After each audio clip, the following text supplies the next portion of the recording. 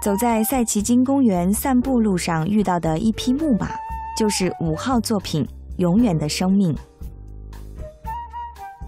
利用在济州中山间找到的枯死木和火山石制作马的形象，通过在形象物上栽种野花，表达了自然的美丽和神秘。在此处静静地闭上眼睛，会听到天地渊瀑布清脆的流水声。如果您享受完了片刻的冥想，下一步就是离开赛奇金公园，前往七十里诗公园。七十里诗公园旁坐落着由我国最早的市立美术馆——纪堂美术馆，这里收藏着国内外作家们的绘画、雕刻、工艺、版画、书法等六百五十多件各类作品。